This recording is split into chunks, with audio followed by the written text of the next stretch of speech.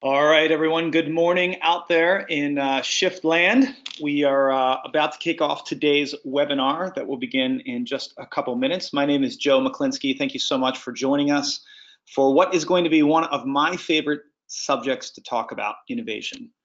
So just sit tight for a second and uh, we're going to get launched here in just a few moments.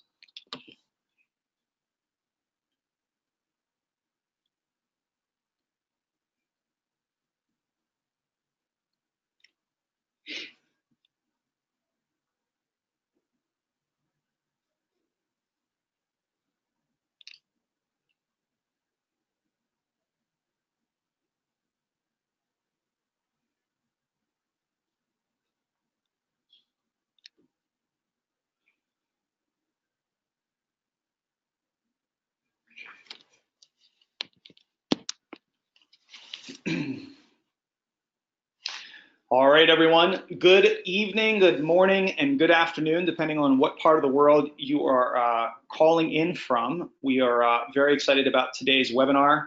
As I said a couple moments ago, we are going to get started here in just a minute, but appreciate everyone jumping on. Uh, given the fact that you have logged on to today's webinar, I have a sense that you are either interested in the concept of creating a culture of innovation, you're either actively doing this right now in your organization, or this is just something that you think is an interesting topic to think about. Uh, but regardless, we want to say thank you so much for joining our learning series here, where we've done, you know, in our minds, we're trying to figure out what really will resonate and add value to our community. So thank you so much for that. And we will get started in 30 seconds.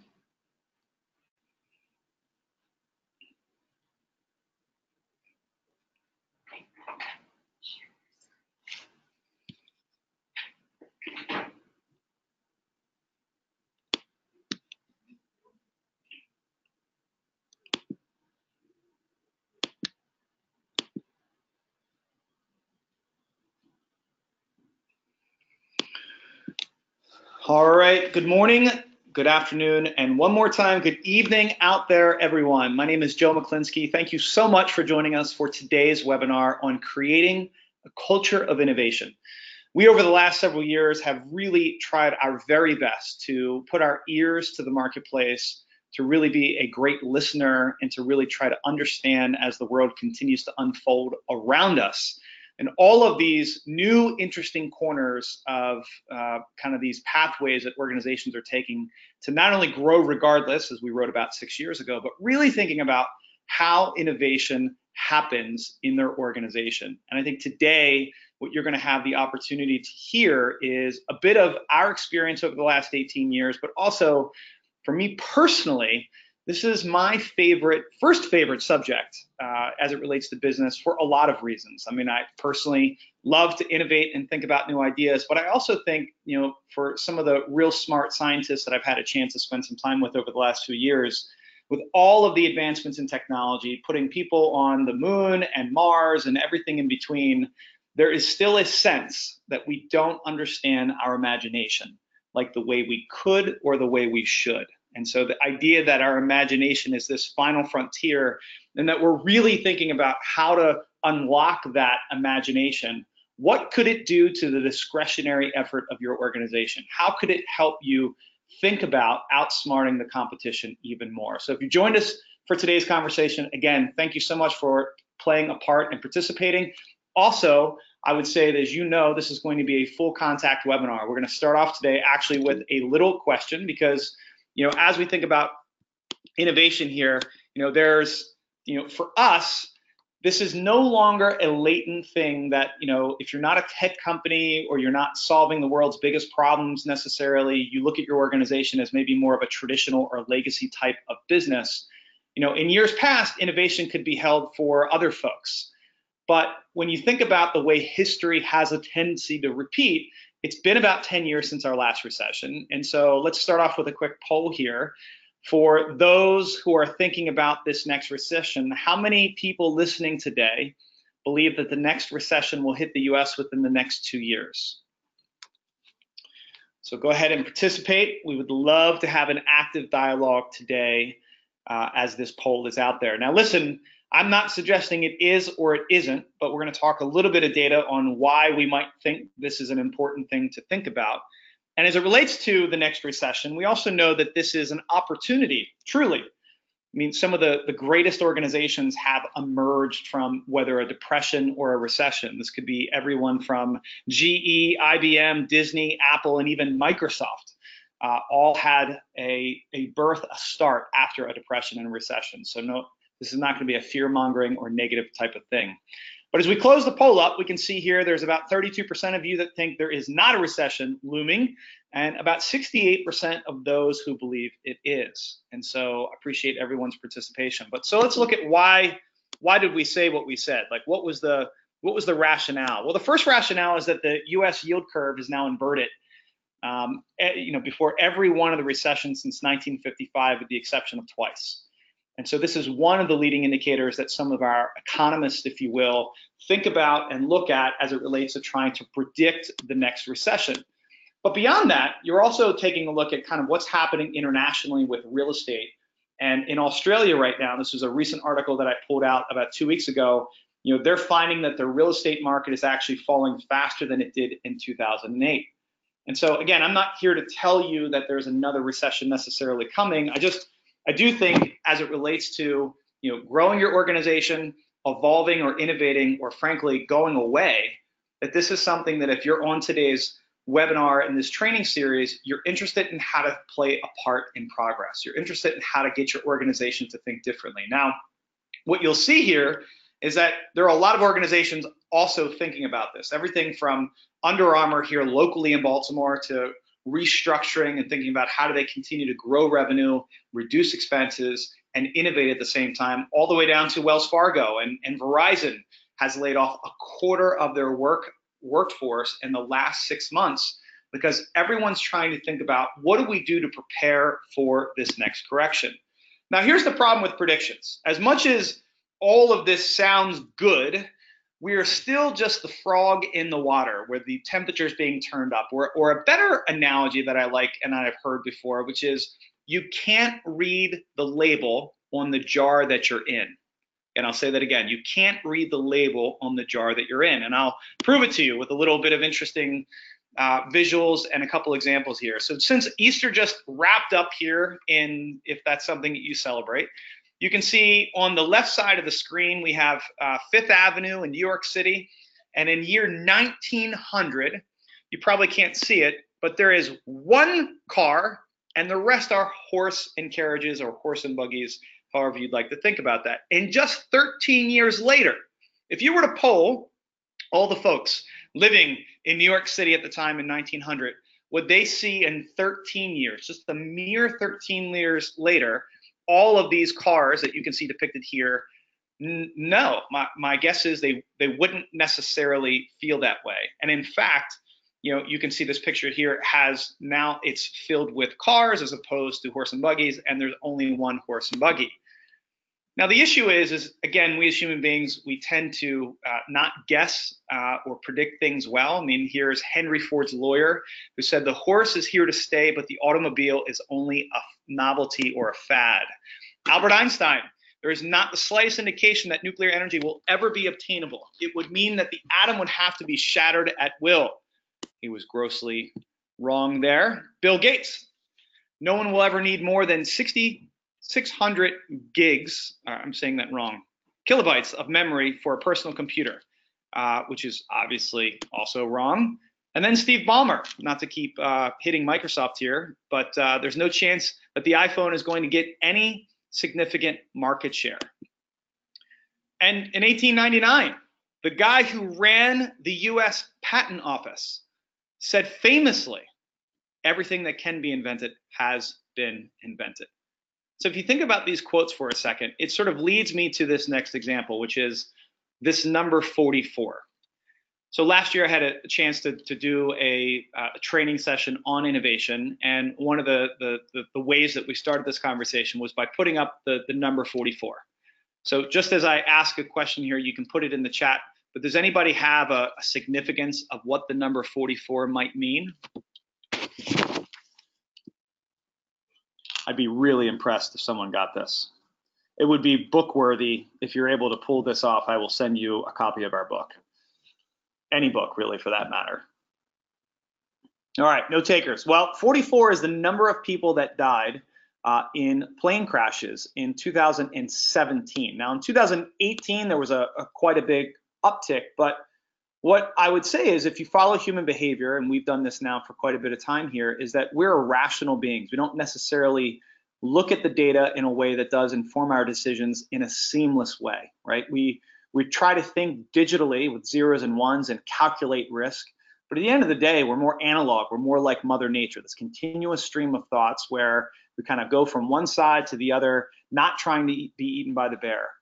Now, even though there was only 44 people that died in 2017, this number represents probably something you've heard before, but there are more than 40,000 people every year in the United States who die fatally um, of a car accident in some way, shape, or form.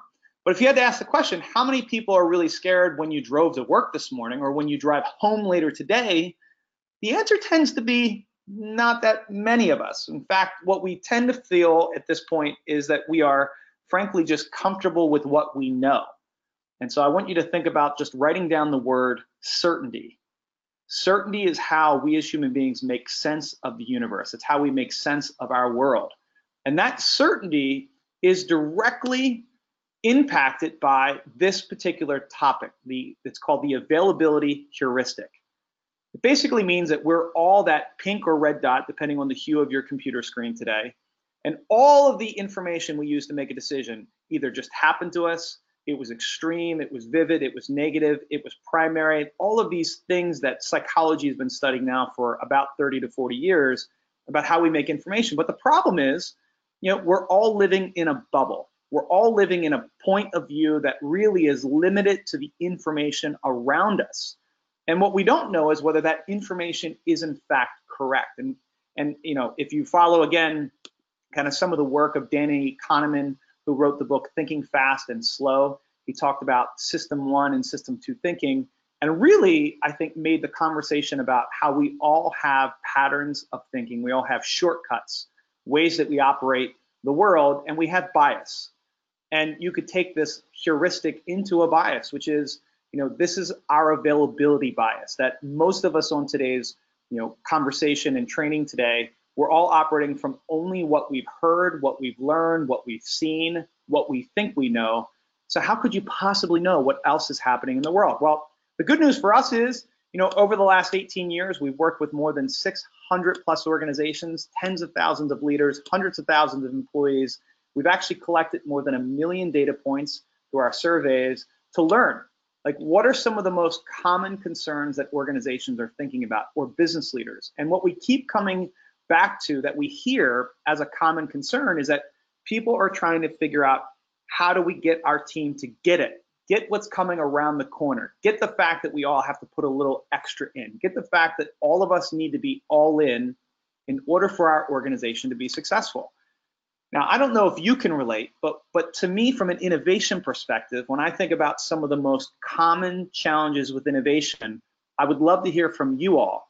So in the chat feature, just go ahead and throw out what are some of the biggest concerns and challenges that you guys see from an innovation point of view.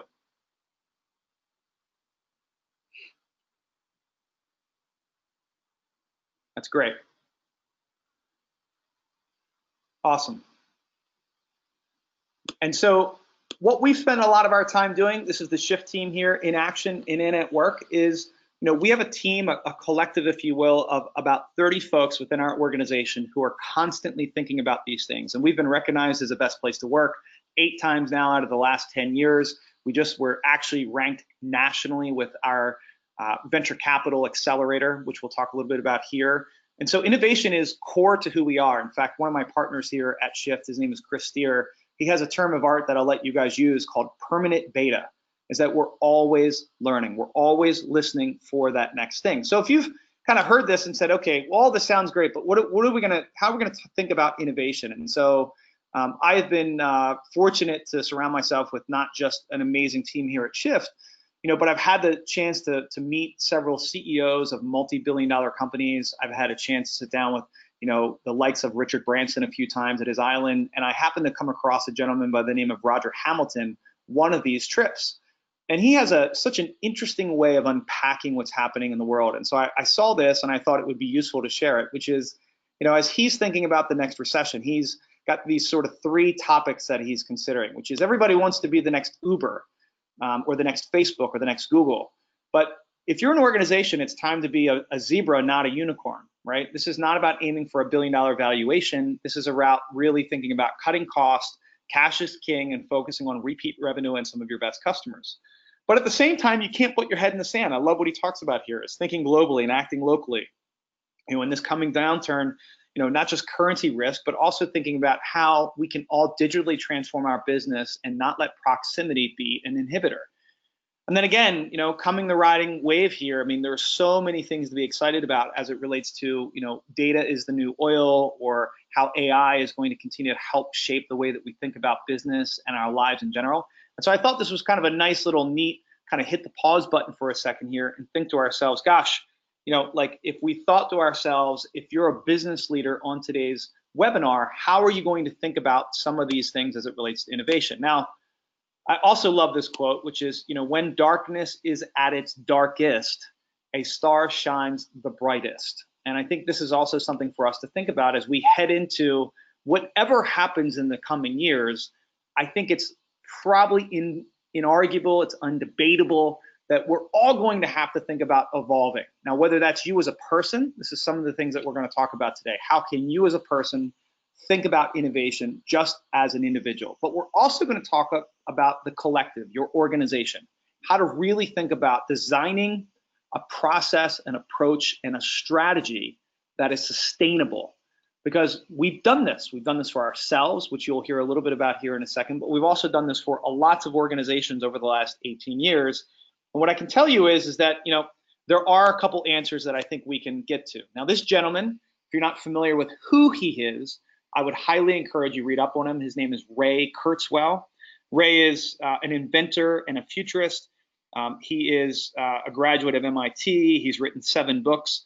But the thing that makes Ray probably the most famous is that back in the 80s, um, he made 140 predictions about the future. Now, Nostradamus, you know, several other people that we might look back to as like, you know, uh, uh, you know, philosophers or or prophecies, if you will, of what the world might look like. He right now, Ray Kurzweil, is the most accurate futurist in the sense that he's been documented that 86% of his predictions have actually come true. Now, there's some debate about the generalities of whether the truth and the facts really, you know, have come to bear the way that he has. But what I love about Ray is that it's not guesses. He's actually just applied a framework. So uh, my background's in economics. Um, I love frameworks. I love graphs. I love charts. I love thinking about the relationship between things. And what he did is he took, you know, Gordon Law, um, Gordon Moore rather law, the the Moore's law. Some of you may be familiar with that term, which is um, the speed in which computers um, work. Frankly, right? So if you thought about the, you know, the Apollo missions back in the 60s when we were putting people into space, the size of those computers, the, the power of those computers literally are sitting in the palm of all of our hands today in the in the case of our smartphones when you know these were you know computers the size of rooms back in the day and so when he looked at Moore's law he developed what's called the accelerating rate of returns and he applied this to so many different industries and I think what's kind of interesting and fascinating about this is really the big takeaway for me is that innovation is not linear. Innovation can be exponential. It can be this slope that you see that's ever increasing. And particularly when you think about change, this is the way I would say the roller coaster of change is happening for all of us.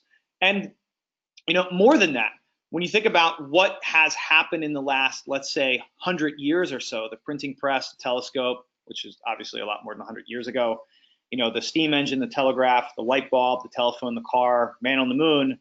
Now what you see is, you know, in the last, let's call it the next 10 years, you know, there's going to be more change in the next 10 years than there has been in the last 250 years.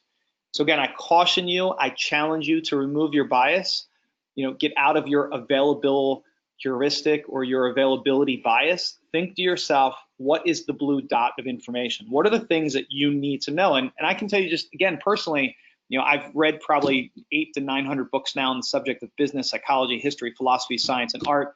I think at the end of the day, we're all artists trying to create, you know, and manifest what's in our head, our ideas. And I also believe, you know, you've got to go see where it's happening. I've traveled to Tel, Tel Aviv and Jerusalem and Israel to see the tech scene there. I've had an opportunity to spend a lot of time in Seattle and Silicon Valley. And what we're trying to do here for you all today is to give you a map, to give you a bit of a roadmap of how this might look. Now, the best way to give you that map is to continue to give you some examples. I mean, when you think about the, the astonishing pace of billion dollar companies, the typical Fortune 500 company is sourced by World Economic Forum said it took about 20 years for our typical Fortune 500 to get to a place that it was a billion dollar valuation. But then came Google and Facebook and Tesla and Uber and Airbnb.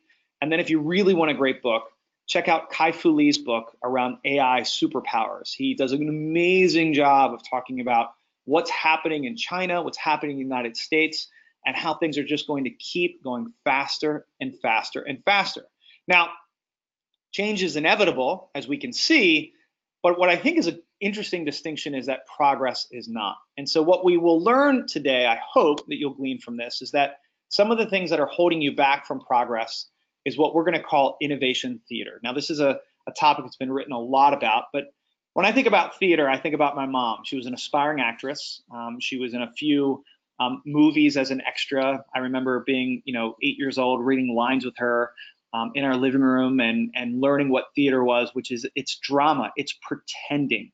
You know, it's pretending to be something that you're not. And innovation theater is very similar to that. It's this idea that you you sort of, and we'll talk, break down some of these things, but you know, innovation is not an act; it's a continuous effort. It's you know, it's kind of the difference between you know most of our computers, as invented by a guy named Alan Turing back in the the 30s and 40s, are done digitally with zeros and ones. Most of us who understand that will get that. But when you think about the way the world happens, Mother Nature is not digital. Mother Nature is analog. It's this constant and consistent stream of thoughts, of ideas, of movements, of actions, of learnings, of adjustments, of course corrections. And it doesn't stop. It's back to that concept of permanent beta.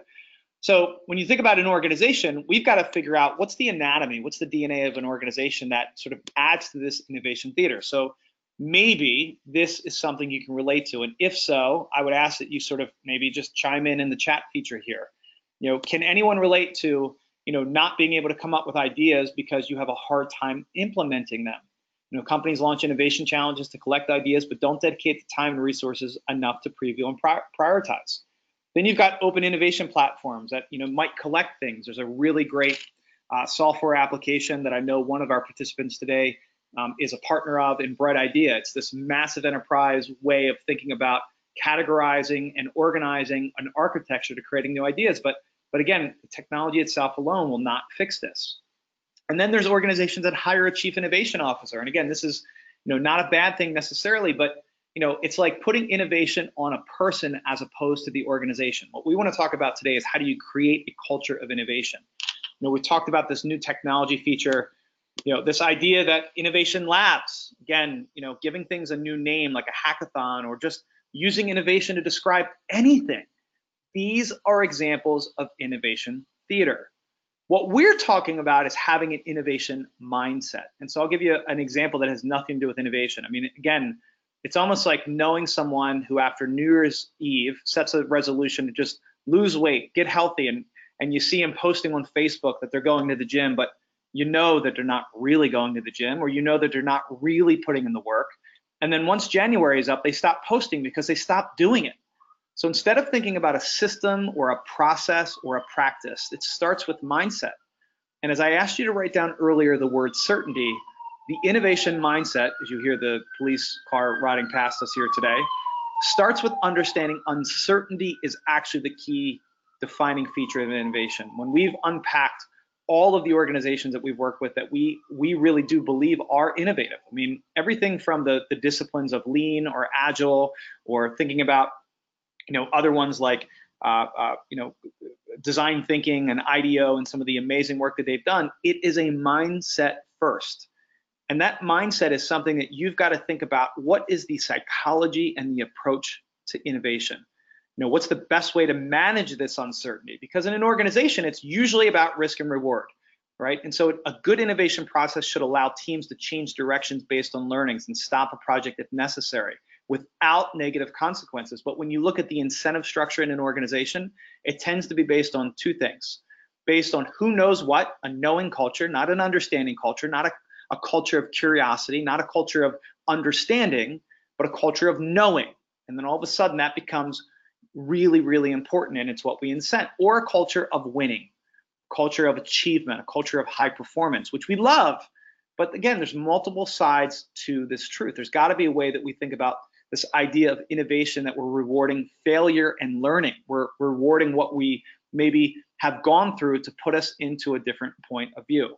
So that's what we're really going to break down here. And part of this comes from my main man, Mr. John Kotter. I think he's one of the most underrated thinkers as it relates to management theory and organizational development. He, back in 2007 and 8, had a great book called Leading Change. And what he did is he broke the organization down into two different, easy to think about frameworks.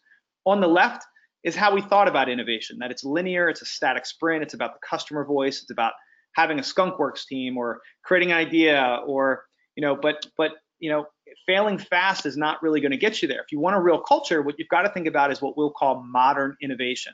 Think about continuous, as we've talked about analog. Think about not the voice of the customer, but the entire life of the customer. Think about how Amazon has done an amazing job with that.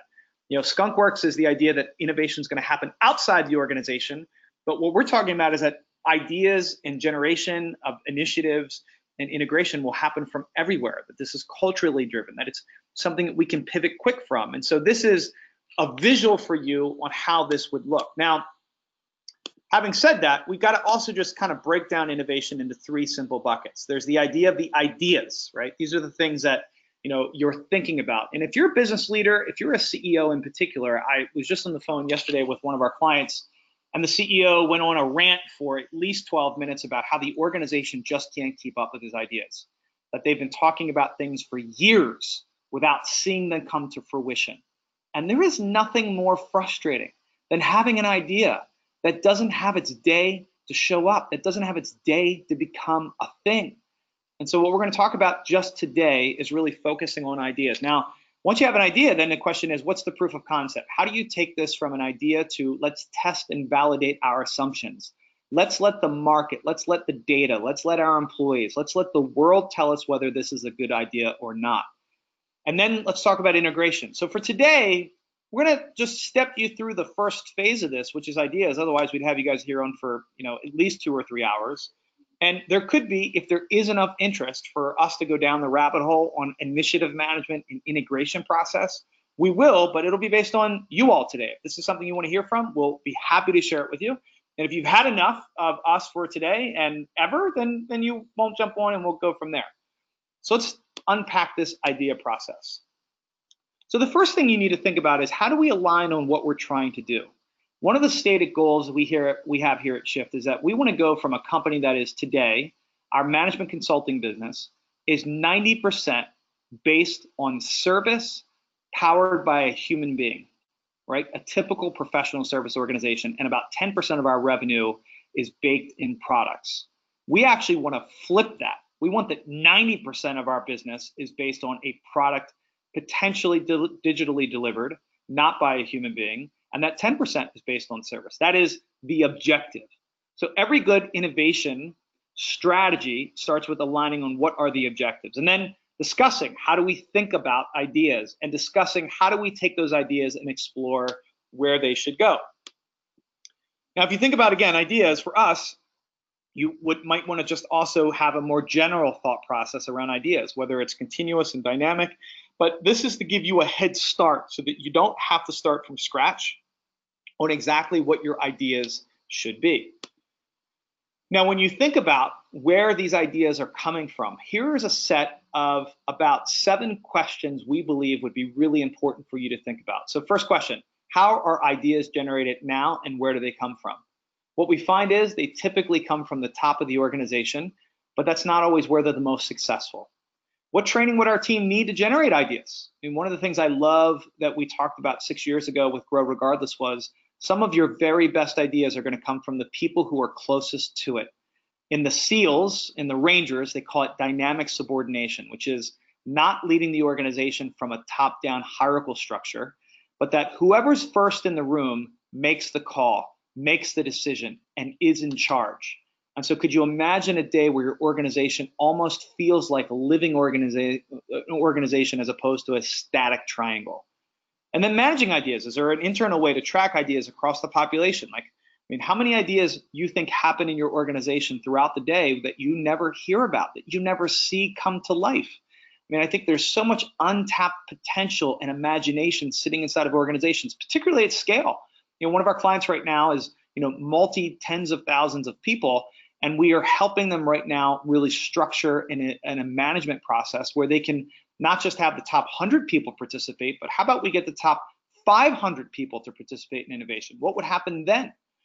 You know, and then again, what kind of communication loop do we need around these ideas? And then evaluating ideas. You know, what's our point of view, and how do we measure these things? How do we evaluate evaluate these ideas? This is just the start.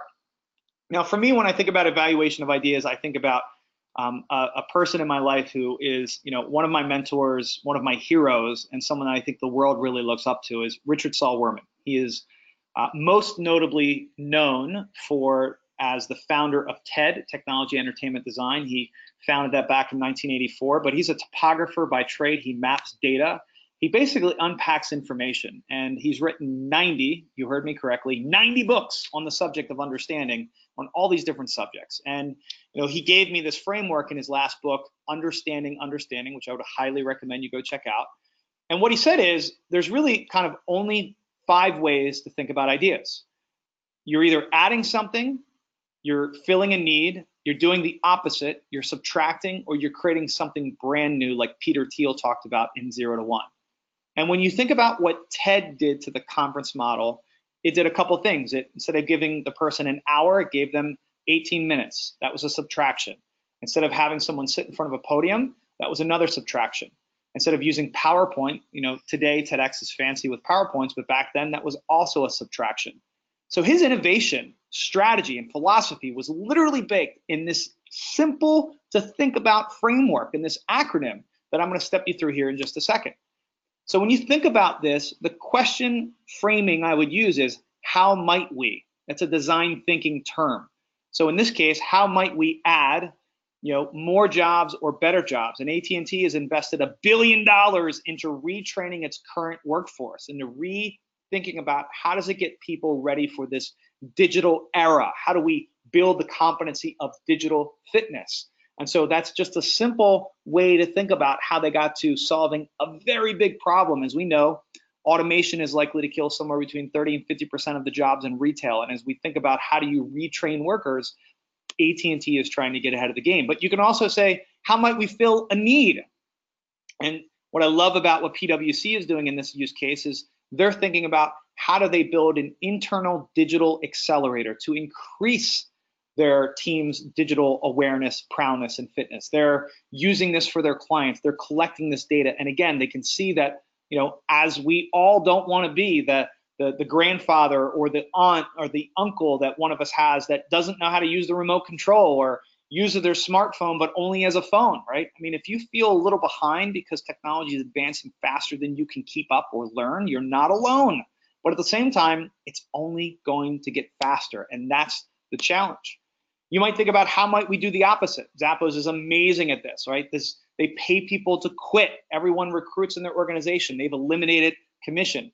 These are use cases. These are case studies of how organizations are innovating by simply using this framework of a nose. And then how might we subtract? One of my favorite examples given to me by our partner um, in Shift Ventures, Jeff Cherry, you know, had a contact at Greyston Bakery where this is a company that hires folks coming out of not just incarceration, but also those who are struggling to get into the labor market. Instead of having them fill out an application and seeing their resume and going through an interview process, they have a thought process called open hiring. So instead of using any HR capacity or resource on the front end of the equation to hire people, open hiring is simple. You you come into the the, the, the, the facility in Yonkers, New York, and if they have a job open, you get the job. And they put all of their energy on the back end of building a culture that either helps people swim or sink very quickly. But again, this is another way to think about innovation as it's happening. And finally, Catalant. You know, our friends up in Boston, these these folks have a, a just an amazing way of thinking about categorizing knowledge in an organization. It's one of my favorite things to ask executives. If you're a business leader, I, I would ask you plainly, think about this question. What are the competencies in your organization? What are the real skills? And what are the skills that you're not personally aware of? So if you're in an organization of more than 150 people, you know how this feels. If you're in an organization of three or four or 10,000 or even 100,000, you can get this use case very quickly, which is just because your LinkedIn profile says that you're good in strategic planning or sales doesn't mean you are. Just because your HR file says that you've got good performance in your particular capacity, that might be true, but what if the organization has something it needs to solve? How does it source the right people for the right jobs? Today, we live in a very weird, static environment where people are just kind of stuck in a job. They get hired for a job, they stay in that job, they might raise and be promoted within that same field, but what we're going to see in the future of work is more mobility. It's more dynamic elements of how an organization is going to shape and think about its team. And Catalant has an amazing platform of how they're doing this for organizations at scale. Now, listen, once you've established this framework, this this way of thinking about ideation, there are some pathways that you can explore. Now, look, I get that this is a lot of information.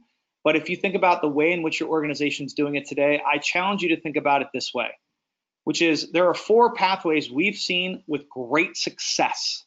And so back 12, 13 years ago, we partnered with an organization that was only 100 people. I mean, a lot of our business in the earlier days was the SMB market. And this was an organization that was highly regulated in the healthcare industry. And we were able to take data from their customers, data from their employees, and turn their organization into a mini accelerator that was able to process ideas and proofs of concept, that was able to manage initiatives. And today they've been recognized as the best place to work nationally. They've they've grown, if you will, regardless. They've done an amazing job of creating an accelerator inside the organization. Now, if you don't have the chops or the or the or the gumption for that inside of your organization, and I do goad you purposely here, then I would say partner with an accelerator and I'll tell you about one here in a second, but they're everywhere. Techstars, Y Combinator, uh, Shift Ventures, and the Conscious Venture Lab. You'll hear about this in a second, but the accelerator and startup scene is incredibly important. I've learned more in the last five years investing in over 30 companies, millions of dollars, and sitting on that side of the table. I've, I've seen hundreds and hundreds of businesses and applications that have gotten me thinking differently about business and everything in between. Then there's learning building skill stacks. Like, are you prioritizing skill development as a core initiative? This could be a certification program or capstone projects. How do you think about that as you saw me talk about AT&T and PwC? You can summon it. You can create a summit environment where are you pulling together your top vendors? I mean, even just for a small lunch or a breakfast and ask them, what are they seeing from your other competition? What are they seeing from other clients of theirs that would be useful for you to know? We do this at scale here. Uh, we've actually created a business around it called Shift Society, which I'll share with you in a second. But participating in gathering people together is such an incredibly valuable exercise to hear and see what others are doing to get out of that availability heuristic. And then finally, lead it. You know, have you put your your stake in the ground in your industry to suggest what you know Ray Kurzweil moment that you're predicting or that you believe in or that you want to take a stand in? You know, these are the things organizationally to think about. Now, look, it's not just enough though to come up with these ideas and these pathways. You're then going to be challenged with how do I do something with this? And, and I'll be the first to say this is not our model. McKinsey has put this out as well as IBM and others to think about how do you think you know of your existing business and what's strategic, what's revolutionary, what's incremental, what's experimental, what's aspirational what I will offer to everyone listening to this is that there's a whole nother hour and a half session that we will talk about on how to integrate these initiatives and ideas in your business, depending on what quadrant they fit in. Because as we try to do often here at Shift, is it's always about applying the right amount of resources, not too much, not too little. It's like that Goldilocks space in between the exact kind of resource that you need to pull off integrating and executing on innovation effectively. Because at the end of the day, you're trying to create an innovative business model. Now, for us, a bit of humble brag moment. It's we've created over the last 18 years now, not one business in Shift Consulting at the top, you know, an award-winning results-obsessed management consulting firm, but we've created Shift Society, which is that gathering place that I'll talk to you about here in a second, and Shift Ventures, which is, you know, our ability to really stay plugged into the startup scene, and Shift Media, giving us the ability to publish, you know, really important what we think thought narratives around what is happening to our industry. And the other reason that we decided to do a collective, similar to, you know, if you're familiar with Zingerman's or GE or Virgin, which has 386 companies within their collective, it's that we know that people are going to want to be more mobile. In the management consulting space, you are lucky to have someone stay upwards of two or three years. We want to not only work with our team, but work with our team and then help them find their wildest dreams, help support their value system, help put them in a position that they want to run a business one day, then we will help them do so. And we have a little bit of precedent set here. And as I talked about Shift Society, you know, we have now done this model for two to three years where we get together a collection of our clients, of corporate executives, of investors, of innovators, of impactors that get together eight to nine times a year locally here in the Mid-Atlantic that are talking about digital transformation, that we take them, as I've talked about earlier, to Israel to check out what's happening there in innovation standpoint, or go to Singularity in Silicon Valley to see what's happening. And what it's done is it's taken that availability heuristic and it's building it for us so that we can see that blue information, that blue circle that's around there. And not just with Shift Society, with also the idea of, you know, our next session, by the way, is uh, May 16th. I'm going to come back to this at the end of today. Um, but the gentleman that we have coming in is going to talk about artificial intelligence. He's going to talk about, you know, what is happening with digital transformation, Dr. Jack. And so if you have any interest in that, hang tight because as we wrap up today, I'll give you an opportunity to potentially participate in that session. Then there's Shift Ventures. I mean, recently, just as last week, um, I'm having a bit of a, of a of an amazing personal week. Um, you know, everybody's happy and healthy in, in the Mechlinski family, but we also had a really great week professionally. And and so beyond giving the whole run up, we were just named. Uh, Jeff Cherry, our partner in Shift Ventures and the Conscious Venture Lab, was named one of the top accelerators in the United States. And you know, I, I say this both yes as a, a humble brag moment, but also in just giving you a sense of all you have to do to participate in the startup scene is sponsor a demo day, become a mentor to an accelerator. We would love to talk to you if you have interest and you have an expertise to help us with our portfolio of companies that are trying to get you know from early stage to series A and really getting them off the ground into a place that they're going to be successful. We would love your help and your interest in that would be great. And then skill stacks. I mean, we've spent, you know, the better part of the last year really asking our team, you know, what do they want more of? And what we keep hearing from our team is they want to learn data.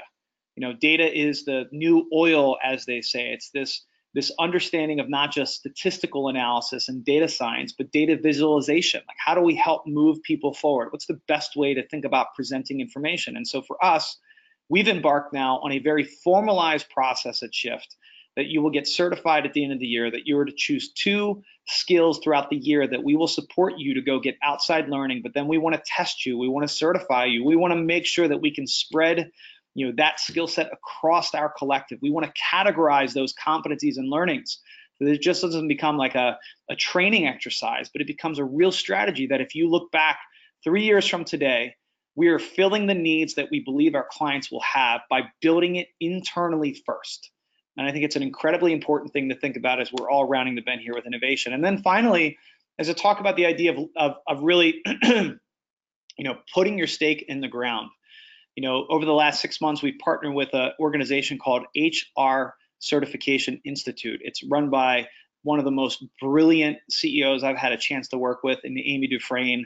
They are, you know, uh, certifying hundreds um, literally hundreds of thousands of folks across the world and becoming more strategic advisors to their organization.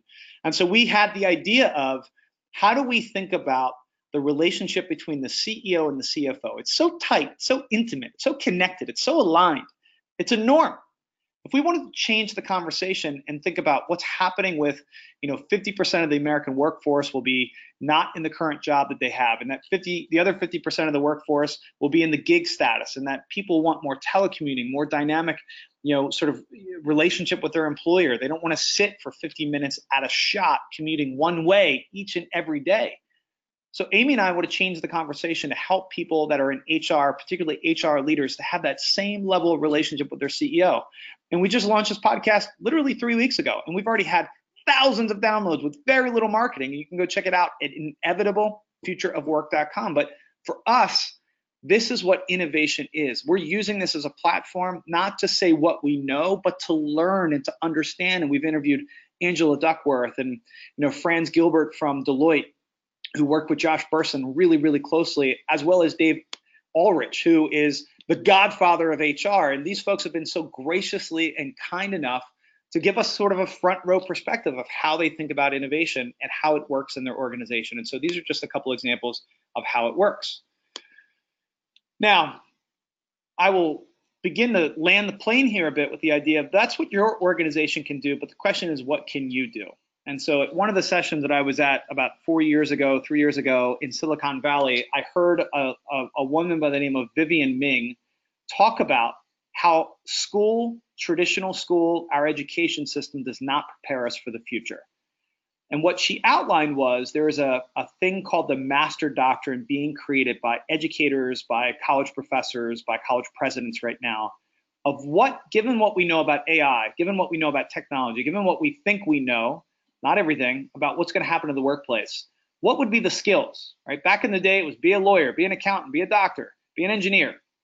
Well, we don't know if those jobs are going to look the same. In fact, we know that you know if you were going to be a radiologist, that that computers today are predicting with much greater accuracy than any human being ever could. So what's the use case there? What what's the reason to stay in that that that that world? Well, we might have an environment where you have multiple careers. We might extend life where you have, you know, many different phases of life. And so the skills that they've all arrived at really map nicely to what we talked about in Shift the Work. It's the idea of creating what are the priorities in your head and your ability to build your creative muscles. I've recently kind of reignited my passion for art, and my daughter is just amazing in this way. She's always been artistic and creative, and she's crafty, and she has her own art room in our house. And you know, I've spent now the last few Saturdays, and will continue to, you know, whether drawing with her with our little zen tangles and if you haven't checked that out, zen tangles are this really cool way to just kind of draw with a friend or with a family member, and it's just a great routine and exercise, or or, or paint, or pour paint, or or craft, or or go paint some pottery, or whatever the case is. But how are you building your creative muscle? Are you spending time thinking about what ifs and getting comfortable with uncertainty? That's really what creative is creativity is to me. Or the idea of feeling passion with your heart and empathy. Like, know, I, I love the idea of how are you building empathy? And I think the best way to build empathy is, you know, go stay the night in a homeless shelter, which I've done, or go do a police ride along, which sounds a little, you know, social justice warrior, but it is. Like you can have an opinion about what you read in the news, but when's the last time you went frontline and actually had a conversation as opposed to writing a check? Or if you want to understand innovation, go to Israel. I'll hook you up with one of the top influencers in Israel who will help get the guy to navigate you to where you need to go. Or if you want to learn from what a billionaire does, call them up, email them, ask them, find a way to get in front of them, ask, get frontline exposure, become an investigative reporter, learn what it is to sit across from someone and really try to build that empathy gene. And then finally, courage look, how do you build courage? You take chances. How do you build courage? You try. It's that Teddy Roosevelt quote. If you don't stand on the sidelines watching it happen, you don't you don't spectate, you play. And I think so often we forget this in this digital world where you know we're on Facebook. That's not playing. You know, sure, you might be experimenting and doing some market research, but then at the end of the day, you got to actually get your hands dirty, roll up your sleeves, and make it happen. And so if I were you, I'd think to yourself on a scale of one to 10, like how good are you at creativity, at empathy, at courage? And think to yourself, what are the couple things that you can do to build these skill sets even more? Because it's coming. I'm not the only one. We're not the only one saying this at Shift. This was a cover, uh, if I believe, back in 2014, uh, 2012 actually, of Time Magazine, which is predicting that 2045 is the year we become immortal. Just contemplate that for one second. Ray Kurzweil, also believes that by the early 2030s, we will have actually cured the disease of aging. So that's maybe good news and bad news for some of us when you think about what age you'll be frozen at for a very extended period of time, if that does in fact come to fruition. But regardless, ladies and gentlemen, there's never been a more exciting time to be around. And I love this quote from Abraham Lincoln, which is the best way to create your future is, or to predict it, is to create it. So this is within our control because if you think about the rate in which, you know, these are all technologies or companies that came on the scene just 12 years ago. Facebook, Twitter, Airbnb, IBM, iPhone, the Android app. These things have become ubiquitous in just 12 years. Just like that Easter Day parade I showed you in the year 1900 when there was all but one car, and yet 13 years later, human behavior, society changed radically. And so I think that's pretty darn exciting. So to wrap things up here, you know, where were you on October 7th, 2018? Chances are you're not going to remember. But what I will tell you is there was a day when I remember growing up in the 80s, it sounds like forever ago, where when the shuttle was taking off, the world stopped, got in front of its TV, grabbed a bowl of, if I'm not mistaken, peanut butter Captain Crunch, and I got a chance to see this, the, the shuttle go up. And we all thought to ourselves, we are really seekers and explorers of a better truth. And I think one of the things that enamored us with all wanting to be an astronaut is to go explore the unknown, the not certain. And I think that's a really interesting thing. But when you think about the October 17th, 2018, I think we've all become a little numb to, you know, that was the day that SpaceX, Elon Musk, launched the first rocket into space, or not first, but a rocket into space. And this is a picture taken and I didn't watch it. I know a lot of people didn't see it. Like it's now become part of like our daily routines that we're just shooting things up into space and there again. And I think that's one of the challenges is how do we stay awake to the amazement? And one of the things that I love to do is write letters. Write letters to my friends, my family members, but I also like writing letters to myself. You know, I've, I'm someone who, you know, experienced a little bit of trauma like we all did growing up. I went to 23 funerals by the time I was 23. And I remember one of the things that I did was I used to write myself a letter when I was 23 after losing my mom, thinking to myself, where do I want to be in three years? Where would I want to see in five years? And so there's this really amazing website that we now wrap a lot of our innovation workshops up with. We ask people to write this futureme.org where you can write yourself a digital letter and you can see you can deliver it to yourself in one years, three years, or however when you want. You can see what letters people are writing if you want to make it public. But the idea that this shows up one day in your inbox and just as a subtle reminder that sometimes we don't give ourselves enough credit for the progress we've made, but then we sometimes underestimate what can happen over the span of maybe longer than a year, maybe five years or 10 years. I think there's a famous Bill Gates quote that said, We often overestimate what we can do in a year, but we underestimate what we can do in five. And I think that's really true. And I would encourage you to wrap up today, go to that website and check it out. Now, if you need a little extra inspiration, this is a, a really cool story about something that happened about a year ago. I was fortunate enough at a conference called Archangel, hosted by an amazing individual named Geo, who put a bunch of us social entrepreneurs together in a room. And one of the gentlemen I met, he just he just a rock star. This guy named Brett Hagler runs an organization called New Story. This particular video has been seen more than 10 million times now on YouTube because of what it's doing. Think to yourself how long it takes to build a house today. Think to yourself the developing countries. And so here you'll see they're building homes now in under 30 days in developing countries. And not just building them, as you see here, they're 3D printing them. And there's one sitting in Austin as we speak. Look at that thing. It's absolutely extraordinary that this is happening. And, and Brett runs a not for profit, ladies and gentlemen. This is not out of a tech company. This idea that 3D printing just is one of the technologies that we should be excited about.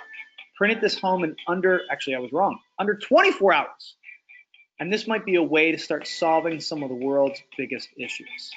So check out News Story, Brett Hagler, for a really great example of inspiration of what could you and should you be thinking about. So to wrap things up, where what do we read and listen to on the regular to get our information, to get out of our availability bias and heuristic? Well, these are five amazing, uh, if I do say so myself, 38.5 Abundance Insider blogs, Farnam Street, Futurism, and the Shift blog. I would highly encourage you to check those out, you know, maybe once a week. Six must-read books. We've talked about a few of these. Uh, Steven Kotler is one of my favorite favorite authors, along with Peter Diamandis. Um, there's a great book if you're involved in not-for-profits or fundraising called New Power. Um, understanding, understanding Richard Saul Wurman, reinventing organizations is an oldie but a goodie. Reid Hoffman's last book, The Alliance, and of course, Shift the Work. And as we round out here, you know, we're big into podcasts because I think this is a new medium that people need to think more about. Sam Harris, Wall Street Journal, The Future of Everything, are quick 25 minute podcasts, radically agile from our friends up at uh, Catalant in Boston. We've launched two podcasts with a lot of really interesting success thus far that I would encourage you to go check out, particularly Inevitable Future of Work. We've got a couple of really exciting interviews coming up. And then from a learning perspective, you know, if you're not taking courses on Udemy, Coursera, TED, Khan Academy, you know, and even MIT, these are free, ladies and gentlemen, free courses at the fingertips of your hand, which is a weird way to say it, but think about it. The idea that all of us can learn whatever we want to learn at this point. I have made it a personal, I'm going to just say it publicly now. I want to become an expert in artificial intelligence. I've spent the last three years reading, talking, interviewing, you know, thinking about it. We're now starting to think about the applications we have here at Shift. I'm helping other organizations think about how AI, you know, can help digitally transform their business. Um, and it's something I want to keep, uh, you know, absorbing and learning. So if anyone has a great AI book or a great AI resource, please send it our way because we will gobble it up quick. And so I'll wrap up today by uh, just suggesting that if you happen to find yourself in the Mid Atlantic area and you have some interest in our gathering, the Shift Society event on May 16th, Instigating Intelligence, you can register now. Um, we will waive the guest fee, uh, limited to the first three registrants. So this is going to be a first come, first serve. If you are in the area, you're a business leader, you've got to be an executive or an entrepreneur. We would love to have you join us. Uh, this next session is not going to be one to miss. Um, if for some reason you're not the first three registrants, uh, the guest fee is 250 bucks. So this is a $250 uh, really cool offer that we wanted to extend to people who are again willing to play a part in this conversation and really just be active with us as we think about where to go next. So I hope that you've all enjoyed today's conversation. We're going to be sending out a survey to get feedback because that feedback will inform our next steps as an organization. We're, as you know, continuing this journey of understanding as things unfold. We're trying to learn, we're trying to listen. And at the end of the day, you know, we want to find a way to really shift the way people work so that we can transform the way we live. With that, I hope you guys have an amazing day. And don't forget, this is truly one of the greatest times to be born, to be alive. Let's do something that matters. Let's do something that's worth it. And let's go make a difference.